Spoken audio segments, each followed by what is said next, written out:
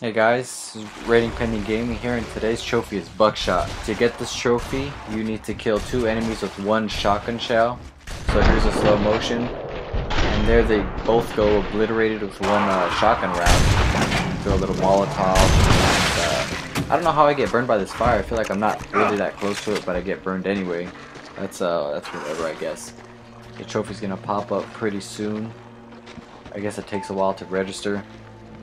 There's a trophy right there, buckshot. Uh, I'm sure you could do this on another levels. I did this on this level because you're hoarded by enemies.